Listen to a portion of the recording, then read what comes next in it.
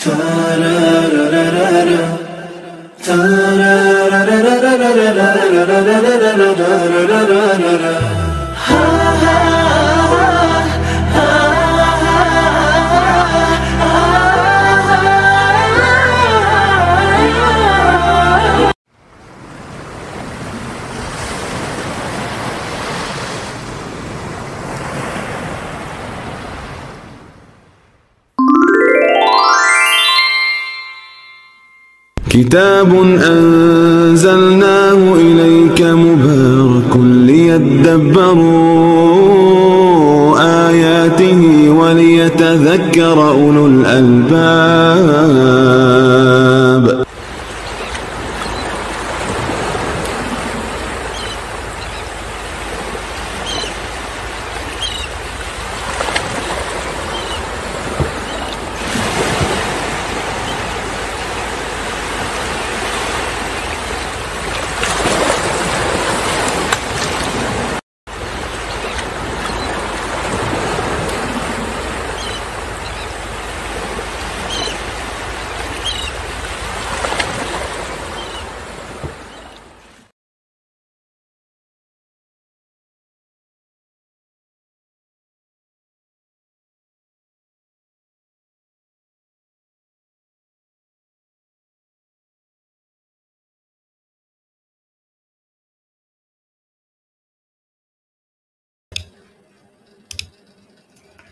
السلام عليكم ورحمة الله وبركاته.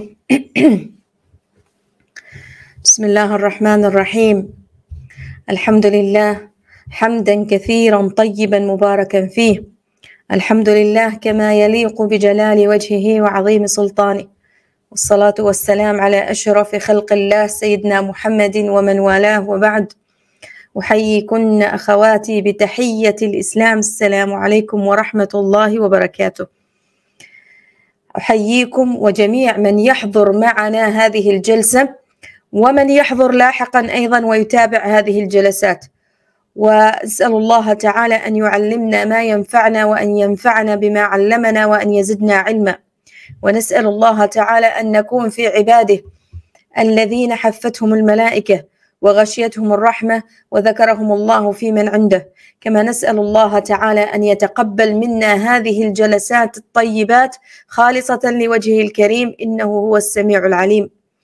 أخواتي الغاليات حقيقة اليوم مختلف مختلف لأنه المفاجأة الرائعة اللي وصلتنا يعني لا أستطيع لا أستطيع حقيقة أنا لحد الآن و يعني ما أعرف لا لا أستطيع إنه أنا أعبر عن شكري وامتناني لهذه الأخت الرائعة وطبعا في أخوات أيضا أخوات حقيقة أيضا يعني قدمن التبرعات وجزاهم الله خير يعني اللي يذكرني بالخير والله إنني أحيانا أحس إنه يعني هل أنا أستحق هذا الشيء؟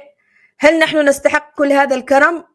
والله إن هذا الكرم يعني فضل عظيم من الله تعالى، فضل عظيم من الله تعالى، فضل كريم من الله تعالى. فجزاها الله خير، كل أخت كل أخت دعت لي ودعت للأخوات بالخير. وكل أخت تصدقت سواء كان لي أو للأخوات ربي يجزيها كل خير عنا. يا رب يتقبل صدقاتكم وعطاؤكم وأعمالكم خالصة لوجه الكريم يقبلها بالقبول الحسن القبول الذي يرفع موازينكم يا رب العالمين. فحقيقة يعني ما ممكن ما ممكن إنه أنا أعبر ولا أوصف ولا حتى أقول. يمكن دعواتنا لا شيء لا شيء أمام جمال عطاء هؤلاء الأخوات. حقيقة يمكن اليوم يعني أنا خلال هذا الأسبوع حصلت على آه ثلاث رسائل رائعة يعني من ثلاث من الأخوات. ربي ربي يسعدكم ربي يرضيكم ربي يرضى عنكم ربي يعطيكم ربي يكرمكم. حقيقة يعني إنه هذا المجلس يعني صدق الرسول عندما قال أن الله يذكركم في ملأ خير من هذا الملأ وفي وفي منزلة خير من هذه المنزلة. نسأل الله تعالى أن نكون كذلك وأهلا لذلك. يا رب تقبل منا يا رب تقبل منا إنك أنت السميع العليم. اللهم لا تفتنا بعد هذا اللهم لا تفتنا بعد هذا يا رب العالمين. اللهم اجعلنا إليك سائرين طائعين راغبين برضاك ومغفرتك وعطائك يا رب يا كريم يا الله.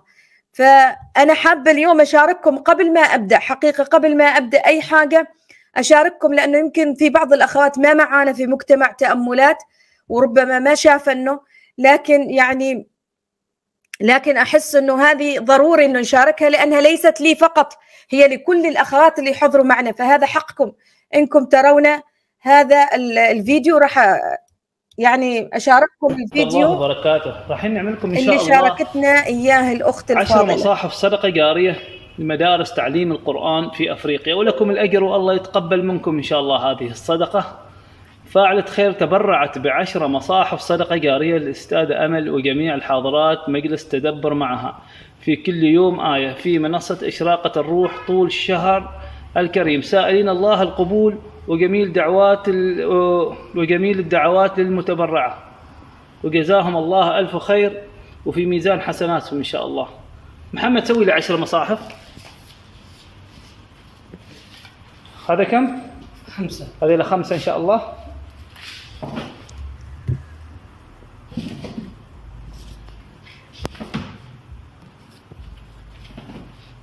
سوي لي بعد خمسة. وهذيلا خمسة.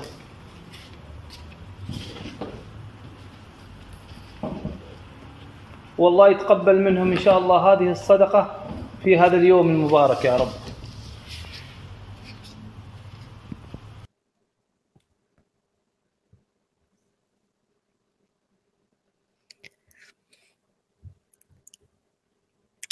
اعذروني أخواتي اعذروني. اعذروني. اعذروني. حقيقة يا رب يا رب أكرمها كما أكرمتنا بهذا العطاء وأكرم كل وحدة يا رب. تصدقت لوجهك الكريم لأجلنا وأكرم يا رب كل واحدة. كل واحدة.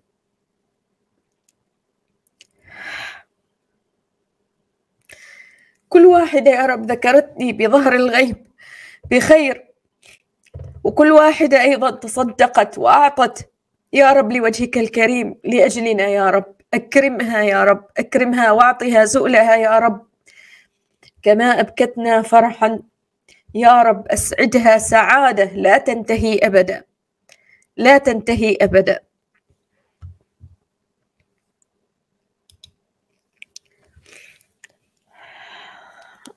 يعني أنا من من من يوم ما وصلتني الرسالة حقيقة وأنا ما عارفة يعني حتى ما عارفة أجلس. أمانة ما عارفة أجلس. ما ممكن ما أعرف يعني ما أقدر أعبر. أنا أترككم عشان تعيشوا اللحظات معي. أنا أترككم حتى تعيشوا هذه اللحظات معي وأسأل الله تعالى أن تكون من ضمن الحاضرات اليوم. لترى دعوات الأخوات لها و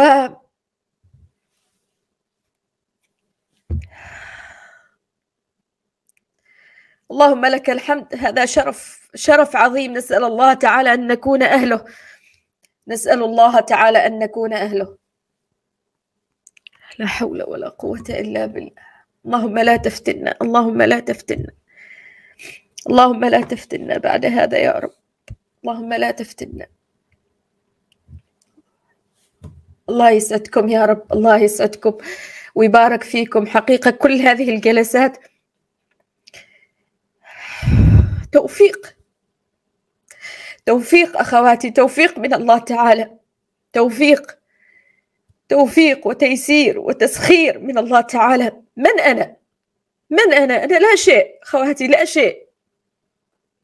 ما أنا إلا عبدة سخرها الله.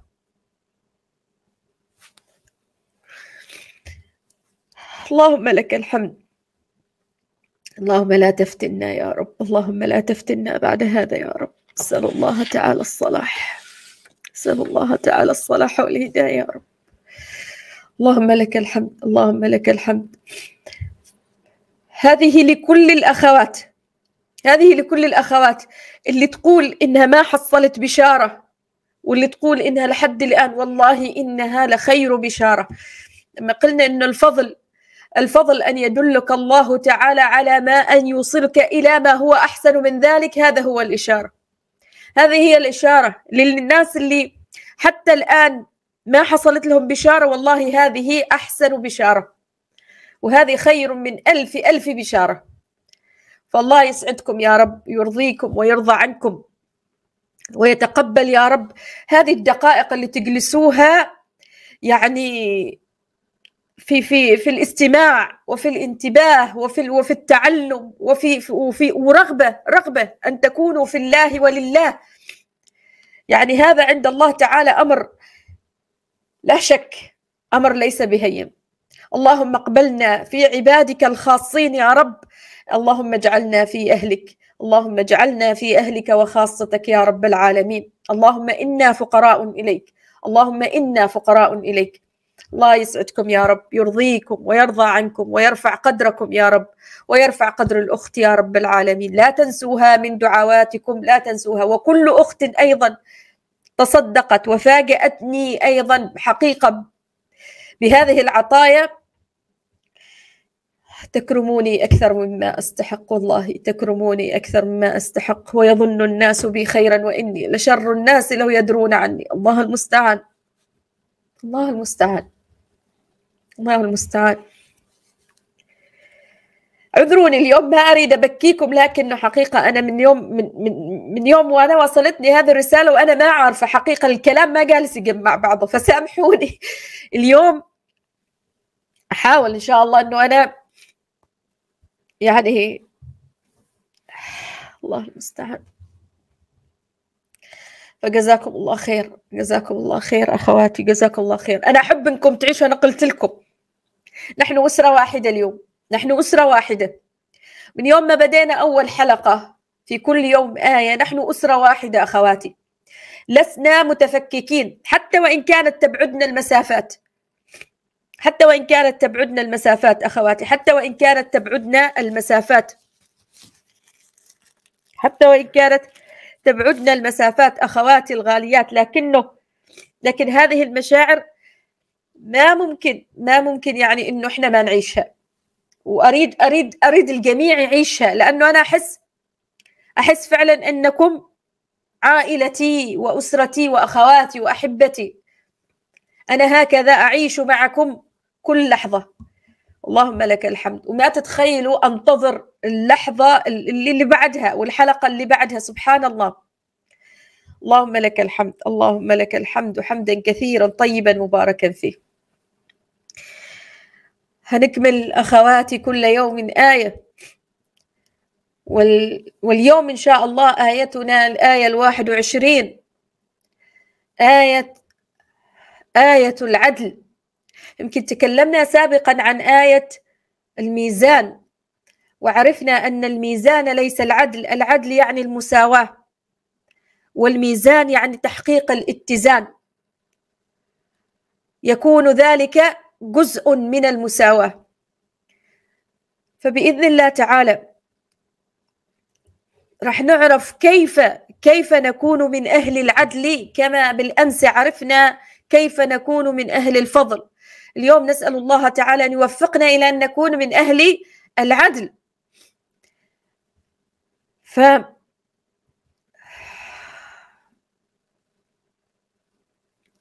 نسأل الله تعالى التيسير والفتح. حقيقة يمكن من أصعب الأشياء اللي هي آية العدل. وما أخفيكم يعني واجد واجد استصعبت الآية يعني إنه كيف إحنا فعلا نصل إلى العدل. يعني من أقصى الصفات وأقواها وأجلها لأن الله تعالى عدل. عدل في حكمه عدل في عطائه عدل, عدل في قيامه بشؤون خلقه. فإنه إحنا نكون من أهل العدل ما سهلة. ما سهلة ابدا. يعني مسألة كبيرة تحتاج إلى جهد. تحتاج إلى جهد.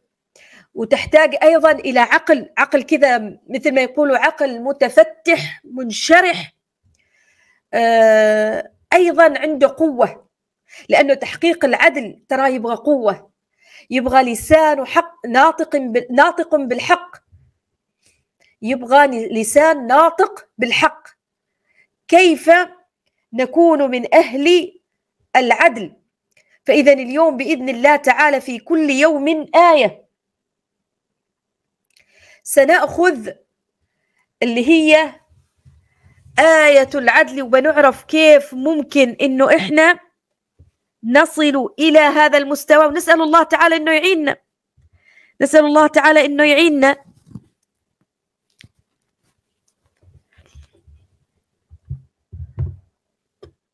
أن نكون من أهل العدل. آية العدل يقول الله تعالى في هذه الآية إن الله يأمر بالعدل والإحسان وإيتاء ذي القربى. وينهى عن الفحشاء والمنكر والبغي يعظكم لعلكم تذكرون. لعلكم تذكرون. إذا الله تعالى يأمر بالعدل أمر. ولما الله تعالى يأمر ماذا نقول؟ ماذا نقول؟ أحبتي نقول سمعنا وأطعنا. سمعنا وأطعنا مباشرة. لما الله تعالى يقول لنا اعدلوا وأحسنوا وآتوا ذا القربى ذا القربى. أقاربكم أحبتي أقاربكم. ما عليكم مما يفعلون. قد يكون بعض من أقاربكم عندكم مشاكل معهم لكن إذا الله تعالى أعطاكم من الفضل لا تنسوا أهل القربى. وطبعا الأقربون أولى بالمعروف. يعني إذا الله تعالى تفضل عليك بأي شيء الأقربون أولى بالمعروف. العلم المعرفة المال الخير ايا كان نوعه الأقربون. العدل أن تبدأ بالإحسان وإيتاء ذي القربى أن تبدأ بالأقربون. تبدأ بالأقربون. وماذا تفعل؟ تنهى عن الفحشاء والمنكر والبغي يعظكم لعلكم تذكرون. إذا هنا الله تعالى موعظة من الله تعالى لنا.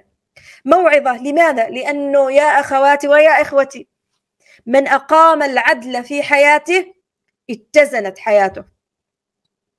من أقام العدل في حياته اتزنت حياته. طيب كيف ممكن أكون من أهل العدل؟ كيف أصل إلى مرحلة أهل العدل؟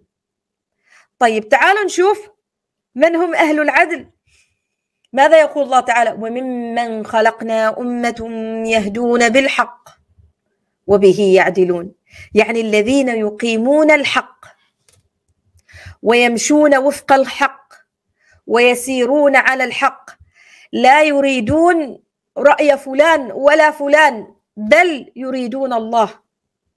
تعرفوا في ناس للأسف تجادلك لأنها تريد أن تنتصر لرأي فلان. لكن ما ما قف بالهم إنه هل هذا هو الحق اللي أنا جالس أدافع عنه؟ يعني فرضا فرضا أمل اليوم جالسة تخربط تقول كلام كله خربيط كله خرابيط. هل أنا أوافقها لمجرد بس لأني أنا مع أمل أو في في في جماعة أمل؟ لا. لابد أن أرى إن كان ما تقوله حقا ووفق ما يقوله الله تعالى. نعم. لأن الأصل المؤمن ينصر أخاه المؤمن. لكن إذا كان الكلام اللي تقوله أصلا مخالف وما عقلاني وما ما ممكن عقل يتقبله إذا ذيك الساعة لا أوقفها وأقولها غلط. المشكلة أنه كثير من الناس ماذا تظن أنها تبحث عن الحق لكنها ماذا هي تبحث عن تأكيد على معتقدها؟ يعني مثلا إيش؟ تريد الحق يريد الحق لكنه عن طريق ماذا؟ نصرت معتقداته القديمة. يعني خلينا نقول مثلا وحدة مثلا تتبع مذهب فلاني أو شيء فلاني أو عالم فلاني تتبعه. لأن العالم الفلاني هي تحبه وتحب ما يقول. إذا شافت شخص آخر مخالف لذلك العالم راحت هاجمت ذلك العالم المخالف. طب ممكن يكون عالمك هذا العالم اللي أنت تتبعيه أخطأ؟ سبحان الله ممكن يخطئ. قال الحق وهو مع الحق وهو إنسان صالح وإنسان ما شاء الله عليه لكن ممكن يخطئ. ربما الحق عند هذا.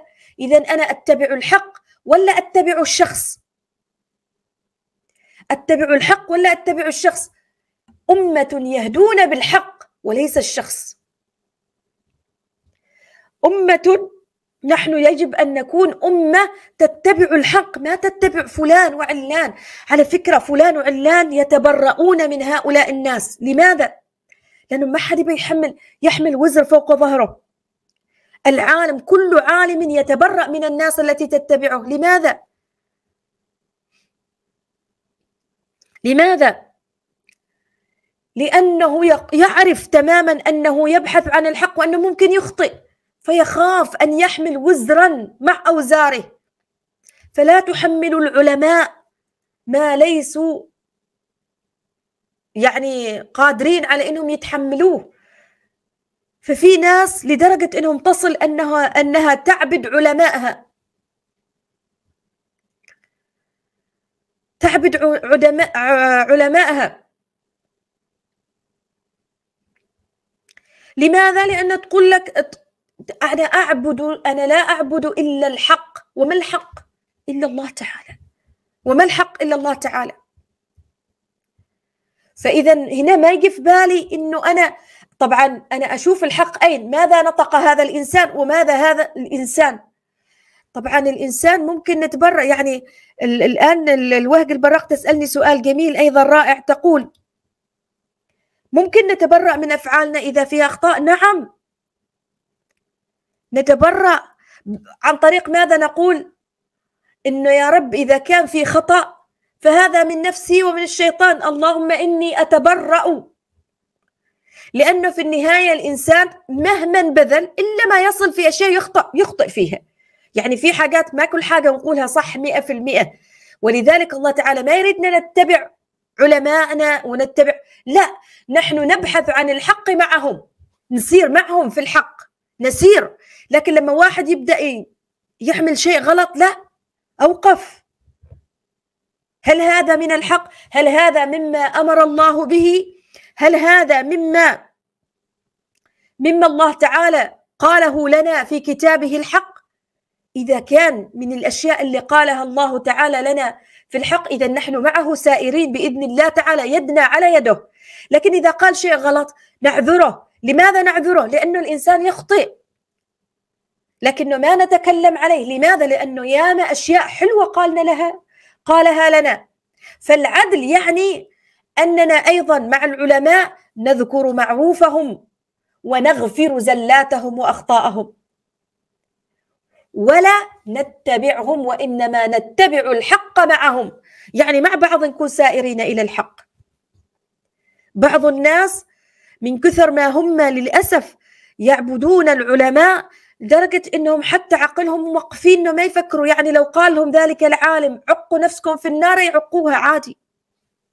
يعبدون نعم علماءهم ويتخذون علماءهم شركاء لله وهم لا يدركون هذا الشيء. وهذا خطير. هل معناته علماءنا على باطل؟ لا لا. لا هم لهم أجرهم بإذن الله تعالى لكنهم أيضا لا يقبلون.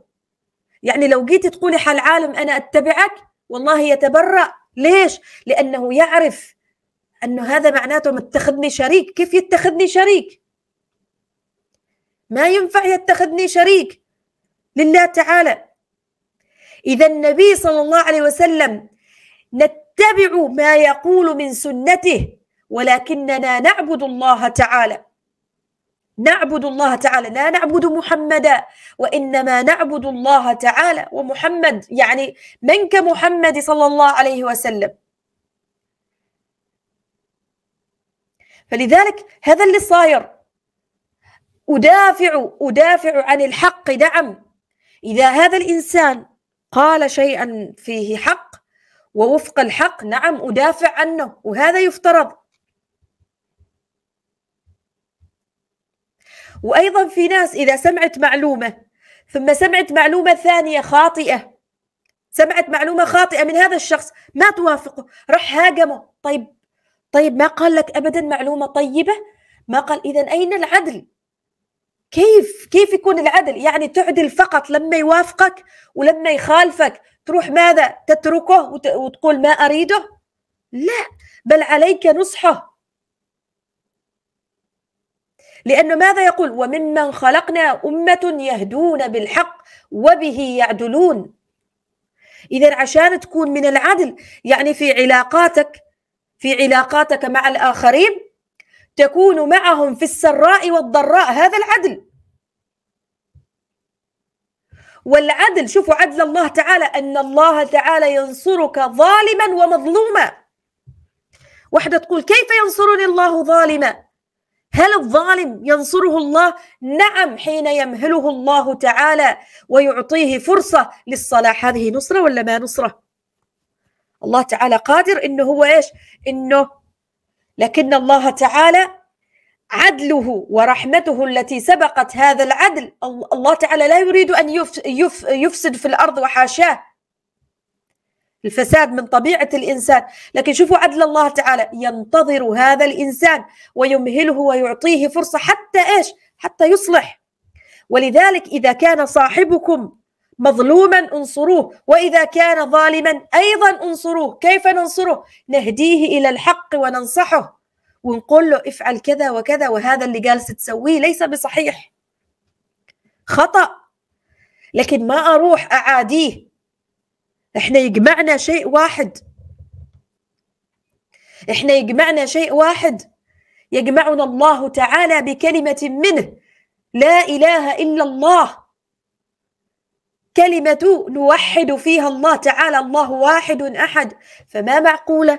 أنا أتكلم عن العدل وأنظر له من جانب واحد ومن جانب ثاني.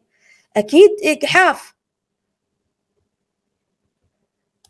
شوفوا هذا هذا هذا اللي أتكلم عنه حبيبتي الوهق البراق هذا اللي أتكلم عنه إنه أحيانا يكون إنسان يقول لهم معلومات زينة تجي معلومة واحدة أو معلومتين خالفت هواهم بدأوا يذمون هذا الشخص. أنا حتى مرة أتذكر تكلمت في حاجة ورسلت لي واحدة كذا رسالة يعني كتبت لي بدات تخرفي. شاهر قاهر تقول لي بدأت تخرفي. قلت لها أحسنتي ما قصرتي. هنا الخطأ اللي قلته؟ طيب لما تجي تنتقد إنسان ولما تجي تحاج تحاج أه تحاج إنسان وتجي أه تناقش إنسان كلمه بالحق ناقشه بالحق الآية بالآية. لما جيت تقول لي ما دليلك؟ أعطيني أنت الآية عشان أنا أعطيك الآية. هكذا يكون الجدال بالحق. الجدال بالحق. الله تعالى يطلب منا أن نجادل لكن نجادل ماذا؟ وجادلهم بالتي هي أحسن. لذلك الإنسان الإنسان يفترض إنه ما ينظر إلى الناس على إنهم خاليين من الأخطاء ما ينظر آه آه الناس كلها على حق وإن الناس ما ممكن تغلط وإن الناس كذا وكذا. لا لا لا. كن عادلا. وضرب الله مثلا رجلين أحدهما أبكم لا يقدر على شيء. شوفوا الله تعالى شبه من شبه الناس اللي هي بس قوم تبعة. شوفوا قوم تبع يشبهوا من. رجلين أحدهما أبكم لا يقدر على شيء وهو وهو كل على مولاه. يعني يعتمد على الآخر. يعتمد أينما يوجهه. شوفوا كيف الخط الخطورة. أينما يوجهه. قال يمين قال يمين. قال شمال قال شمال بدون تفكير. لا يأتي بخير. هل يستوي؟ هو ومن يأمر بالعدل وهو على صراط مستقيم؟ ينفع. لذلك بعض الناس تقول لش قال لي العالم الفلاني وقال لي أنا على فكرة في ناس كثير تسألني آه، أي كتاب وأي ما أدري إيش؟ من قال إني ما قرأت. أنا ما لازم أخبر العالم إنه أنا قرأت كذا وكذا وكذا وكذا وما لازم أخبر العالم إنه هذا الكتاب الفلاني والكتاب أنا قادرة ما صعبة. لكن لكن السؤال هو قبل أن تجادلني كلمني بالمنطق والعقل اللي الله سبحانه وتعالى أعطاني وأعطاك إياه. أعطانا عقول. الآيات ما واضحة؟ يمكن تحتاجوا توضيح الشاشة أخواتي الغاليات. غريبة يعني الآيات ما واضحة. ربما تحتاجوا إلى الجودة يمكن؟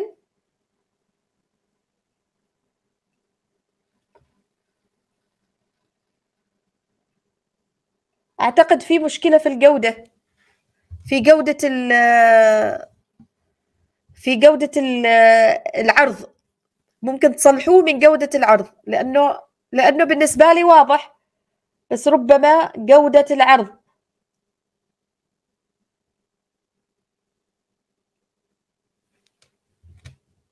أنا أحاول إن شاء الله المرات القادمة إنه أنا أعدل في الخطوط وأخليها أكبر بإذن الله تعالى لكن هي تحتاج فقط إلى تعديل في الجودة. طيب. الآن يقول الله تعالى لا يأتي بخير. يعني ما ممكن ما ممكن إنه الشخص اللي هو أبكم ويعتمد على يعني أبكم إيش يعني؟ يعني لا ينطق بالحق. شوفوا الله تعالى لما يضرب مثل لما يضرب مثل يضرب مثلا وضرب الله مثلا رجلين واحد منهم ماله. واحد منهم لا ينطق بالحق. وين ما يقولوا له روح يمين يروح يمين. وين ما يروح شمال يروح شمال. طب أنت عقلك ماذا يقول لك؟ اذا أين العدل؟ ماذا يقول الله تعالى؟ هل يستوي هو ومن يأمر بالعدل وهو على صراط مستقيم؟ ممكن؟ ينفع؟ ما ممكن. واحد يأمر بالعدل. عنده إيش؟ عنده حجة. عنده حجة عنده آية عنده دليل يستدل بها.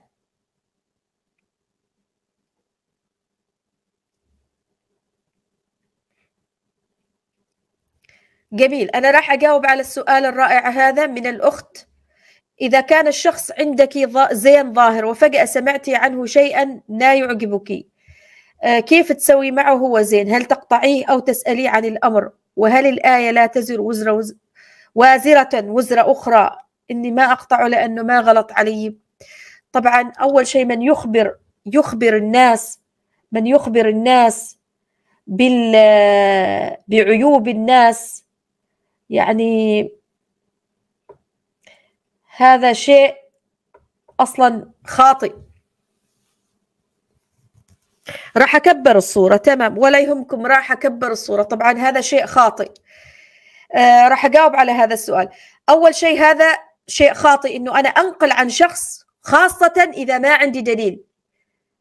إذا جاءكم فاسق بنبأ ماذا يقول الله تعالى؟ يا أيها الذين آمنوا إذا جاءكم فاسق بنبأ فتبينوا. لماذا؟ أن تصيبوا قوما بجهالة. ما دام ما عندي دليل ما أروح أتكلم. ولذلك إذا هذا الشخص ما أعطاك دليل لا تلتفتي إلى الكلام الذي قيل. ما دام ما في دليل. والله تعالى لا يحب ذلك الذي ينقل ويتكلم. وإذا كان هو صاحب خطأ ما دام ما ظهر لك هذا الخطأ؟ ما ظهر لك؟ وما رأيتيه بعينك؟ ولم تري هذا الإنسان إلا بخير وفي خير خلاص. ما عليك مما يقال. وربما كان كان سيئا والله تعالى أصلحه وأحسنه. ما علي مما كان يفعل.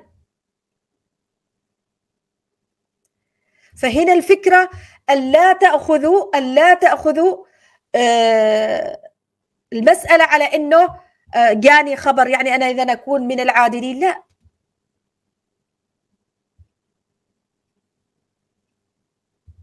فنكون نندم بعد ذلك. فإذا أتاني شخص يخبرني عن شخص وليس له دليل لا ألتفت.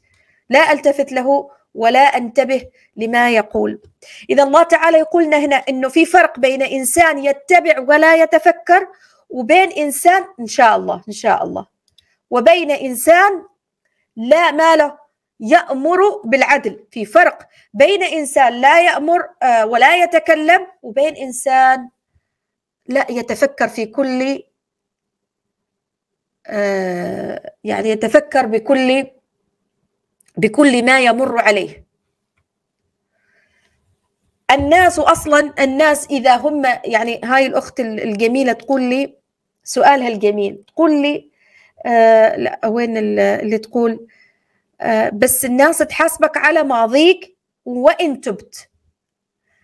أصلا الناس ببساطة يا أخوتي الناس الض... الناس ما مسامحين أنفسهم. كيف يسامحوا غيرهم؟ الإنسان لا يسامح نفسه فكيف يسامح غيره؟ ما عليكم من الناس ولا عليكم مما يقولون. أنت في جهاد أنت في جهاد. طب أنا عندي أخطاء وعندي أخطاء وعندي أشياء لكن الله تاب علي. لكن الله تاب علي. خلاص انتهى الأمر. ما علي من الآخرين. طيب وإذا في دليل؟ إذا في دليل عندها علي بالنصح ما أسير أتغير؟ علي بالنصح أولا. أنصح ما مباشرة أتغير عليه الإنسان. طيب العدل يعني المساواة وهو شرط أساسي. يعني ما تكون إنسان لما تكون علاقتك بشخص جيدة أول ما يغلط عليك تروح تقلب عليه لأن ذلك ليس من العدل. العدل إنك ما تتغير على الإنسان لو أخطأ فيك. أول شيء لازم تعرف لماذا أخطأ. ثم أيضا تعدل في أن تنصحه. تنصحه. ما نفع؟ خلاص. واستمر لا استمر في الإيذاء. ما بس إنه أخطأ استمر يؤذيني. عند هذه اللحظة لا الأمر يتغير. الوضع يتغير هنا لكن ما يكون مباشرة. ما يكون مباشرة. كيف يعني؟ يعني بس أنا يجيني إنسان وأنا على فكرة عرفت ناس كذا يعني يعاملوك ما شاء الله زين زين زين فجأة تستغرب تغيروا عليك. ليش فلان تغيرت عليه يعني أنا ما فاهم ليش. ولا يخبرك ليش أصلا تغير ولا يكلمك ويمكن يعمل لك بلوك وأنت ما فاهم ليش. إيش السبب؟ أين العدل في العلاقة؟ أين العدل؟ العدل أن يكون سلوكي نفسه ما يتغير. والمبادئ اللي أؤمن فيها ما تتبدل على حسب مزاجي وموقفي. طب هذا الإنسان أذاك في شيء؟ لا ما أذاني لكني سمعت عنه. وأنا صراحة لما أسمع عن إنسان أتجنبه عشان ما ما ما يصيبني مثل ما صار طب أنت لقيت دليل؟ لا. ما عندي دليل لكني سمعت وأنا أثق في الناس. وأنت مو دراك ان أصلا الذي أخبرك من أهل الحق. وعلى أساس إنك أنت يعني يا عيني ما شاء الله عليك لا. كلنا خطاء وكلنا من أهل الخطأ. ما حد معصوم عن الخطأ. طيب ماذا أفعل؟ أتثبت الأول وأتأكد ولا أتغير. لكن في فعلا أنا أتذكر في ناس قطعتني قطعتني.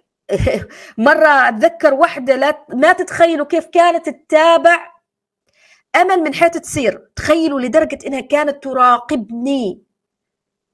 تراقبني أينما أذهب. مراقبتني ليل ونهار. ليل ونهار.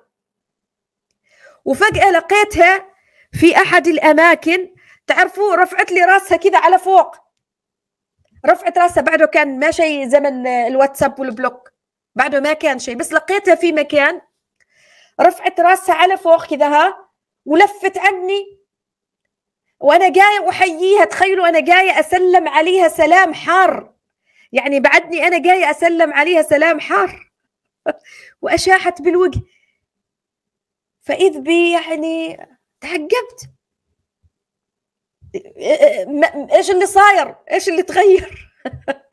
ترى يقول شيء من حبي ما قتل. جاتها ضربة قوية يمكن عني. الله العليم ما فمو سمعت عني. وقلبت. فلما قلبت أنا يعني قلت سبحان الله. فتركتها لشأنها. ما يعني لكن هو العدل مرتبط أيضا بظاهر الأمور وليس باطنها. وهذه النقطة نأكدها مرة ثانية. إذا جاءك أحد يخبرك عن شخص ولم تطلع على باطنه ولا تعرف أدلة اترك الأمر ولا تبحث فيه. ولا تبحث فيه. يعني كيف؟ يعني أحيانا أنا أنا أعدل وفق ما أرى ظاهرا ما أقدر عليه. اللي أشوفه بس. أنا ما شفت من الإنسان هذا إلا الخير. العدل لا. الاتزان معنوي الميزان معنوي لكن العدل ظاهري. كيف ظاهري؟ يعني الحكم بالظاهر. أحكم بالظاهر. أنا ما شفت منه هذا الإنسان شيء فاذا ما أستطيع.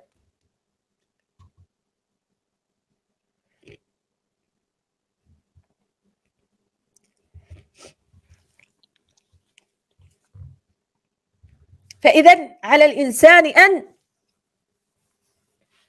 إذا رأيت دليلا إذا رأيت دليلا لا بأس. إذا أنا رأيت لأنه أصلا يعتمد على ظاهر الأمور. أنا ظاهر الأمور عندي إنه هذا الإنسان زين. أنا ما شفت إلى أن يظهر الله لي أمرا.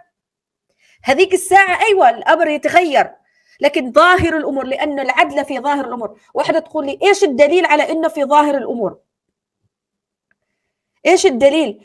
لما تحدث الأحكام لما يحكم بالعدل لما يحكم بالعدل. يعتمد على ماذا؟ على ما نراه من أدلة. على ما نراه من أدلة. ما يقدر القاضي يحكم على ما في باطن هذا الإنسان. إذا كانت الملائكة لا تطلع على ما في باطنه الله وحده المطلع. الله وحده المطلع. هل لهذا هل لهذه المواقف علاقة بالقلب السليم للشخص؟ نعم هي تؤذي القلب السليم وتلوثه للعلم اللي اللي اللي يحاول إنه يطلع ويحكم على الناس بناء على بواطنهم يتأذى قلبه ويصاب قلبه يعني بالأذى بمعنى إنه خلينا نقول يكون هذا مثل إيش؟ مثل اللي ممكن يقع في التجسس يقع في الظن يقع في في الغيبة يقع في النميمة. وهذا من الأمر الذي الله سبحانه وتعالى لا يأمر به ابدا. الله يأمر بالعدل والإحسان. ولاحظوا العدل دائما يكون فيه طرفين.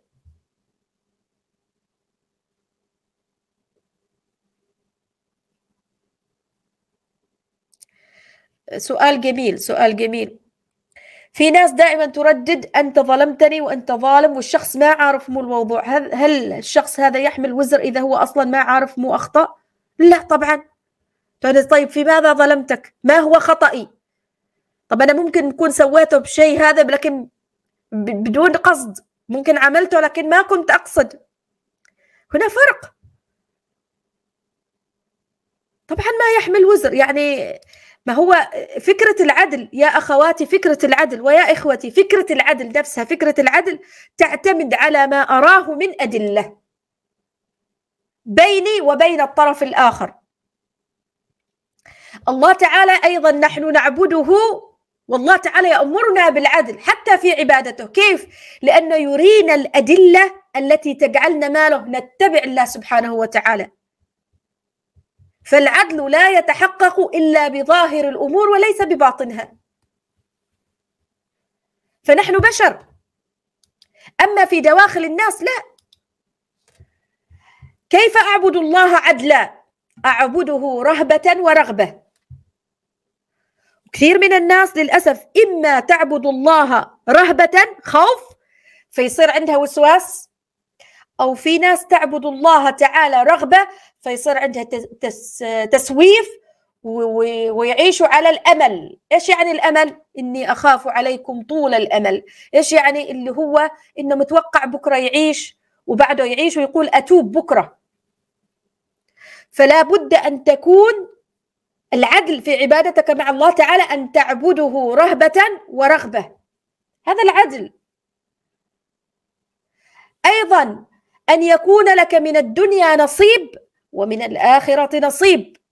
هذا العدل كيف يعني؟ يعني أعمل لدنياي كأني أعيش أبدا وأعمل لآخرتي كأني أموت غدا أو سأموت غدا. ما أعيش كأني إيش؟ إما خوف وإما رغبة فإما تفريط وإما إفراط. ما ينفع. فالعدل في السلوك انه عبادتي لله تعالى نعم أعبد الله تعالى لكن يكون عندي هذاك آه، حسن الظن بالله تعالى أن الله تعالى يقبلني ولذلك أعمل لله تعالى فكل أعمالي أعمال أريد بها خير الدنيا وخير الآخرة. في ناس لا تاركه دنياها وعايشة لآخرتها.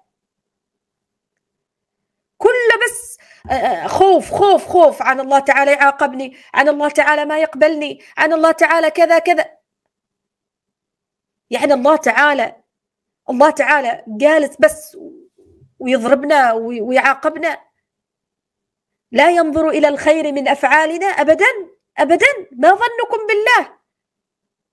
ينفع؟ ما ينفع. فالعدل فالعدل مع الله تعالى أن يكون عبادتنا له رهبة ورغبة. اعبدوه وادعوه رهبة ورغبة. ما يكون الأمر ما يكون الأمر آه، متروك. طيب واحدة تقول لي كيف أعرف رهبة ورغبة؟ في السلوك يظهر. ما أنا قلت لكم العدل وتحقق في السلوك. طيب مشاعري صعبة شوية. مشاعري لابد أن أتكلم عن الاتزان. وأنا قلت لكم قبل الميزان متعلق بالمشاعر أما العدل متعلق بالسلوك. فانظر إلى سلوكك. هل أنت عادل في عبادتك مع الله؟ هل تؤدي التكاليف ولا أنت تاركنها؟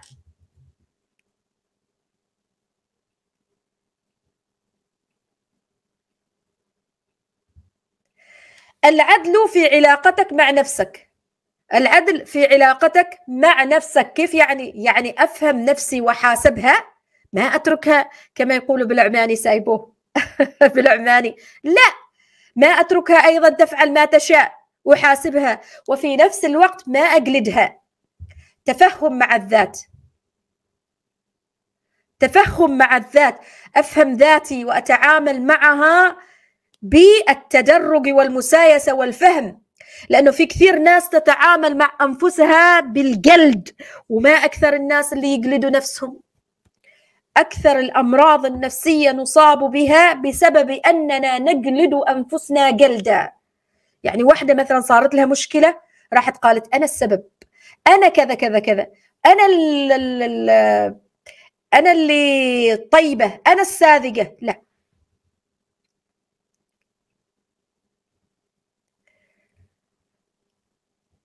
العدل في علاقتك مع الآخرين وهذه لا تكون إلا بإقامة العدل الذي يأمر الله تعالى به أن تنصحه وتسمع منه وأن تؤازره في الحق وأن تعينه على الحق ثم تنصحه عندما يفعل باطلا. هذا هو العدل.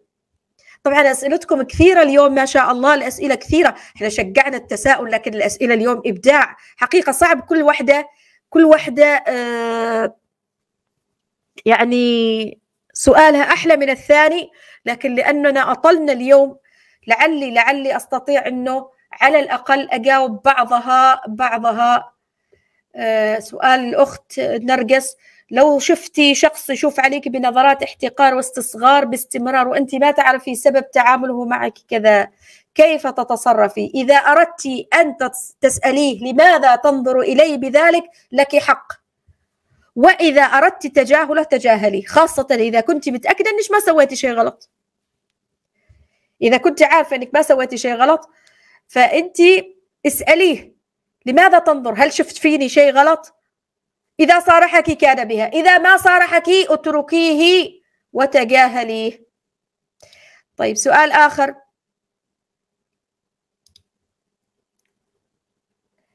أم عبد الله شكرا لك حبيبتي. دورة سحر الخلوات كانت ساعة فقط لكن كانت حياة ومن العدل الاعتراف بالحق. الدورة كانت الله يجزيك خير حبيبتي. الله يسعدك يا رب ويعطيك ويرضى عنك. اللهم لك الحمد. هذا فضل من الله تعالى هذا فضل من الله تعالى. الله يعطيكم الخير يا رب. آه كيف نعدل مع أولادنا؟ ما إحنا قلنا العدل ماذا؟ الظاهر. مشاعرش أنت ما تتحكمي فيها. ممكن يكون طفل عندش أحب من طفل آخر. لكن كيف يكون العدل؟ العدل إنه أنا أعطيهم كلهم نفس الحقوق. من ملابس أشتري لهم كلهم ملابس ما حد أشتري له وحد ما أشتري له. الثناء أثني عليهم كلهم إذا فعلوا خير. وأحاسبهم إذا فعلوا خطأ. لأنه إحنا قلنا العدل في الظاهر. العدل يكون في الظاهر. هذا على أساس أعطي فقط مثال للأخوات. ذكرت مثال للعدل مع النفس قلنا العدل مع النفس إنه أنا لما تخطئ احاسبها لكن ما اجلدها وأتفهم مع الذات لما أريدها أريدها تعمل الخير أخذها بالتدريج إلى الخير. كيف نطبق لا يكلف الله نفسا إلا وسعها؟ هذه جاوبتها مرارا وتكرارا. ف سامحوني ربما هذه بيطول فيها حبيبتي سيطول فيها الشرح. ولعل الله تعالى يفتح لنا في الأيام القادمة إنه أنا أوضحها بإذن الله تعالى. اذا العدل يكون في ظاهر الأمور أن تعدل في ظاهر أمورك يعني سلوكياتك فتكون في الطرفين عادلا ومساوي عند المخاصمة لا تفجر لأنه في ناس لما تخاصم تفجر في علاقاتها لا لا يكون الإنسان فاجرا وإنما يقيم العدل. كذلك مع الله تعالى اعبده رهبة ورغبة فيكون لك من أعمال الدنيا ما تريد بها التقرب من الله سبحانه وتعالى وأيضا تريد من الله تعالى أن يعطيك الأجر عليها. وكذلك تعمل أيضا للدنيا يعني أعمالك تروح لأعمالك تذهب إلى أعمالك ما تتركها وتقول بس أجلس أتعبد أتعبد أتعبد.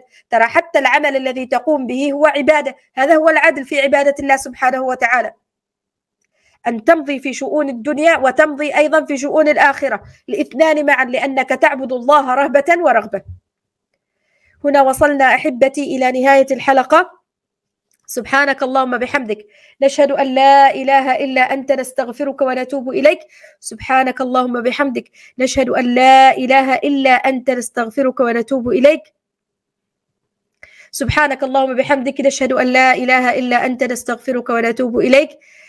أسأل الله تعالى لي ولكم التيسير والسداد والتوفيق والهدى والهداية والعتق من النيران في هذه الأيام الفاضلة, الفاضلة. أستودعكم الله. أحبتي تركتكم في ودائعه ورحمته وفضله وخيره.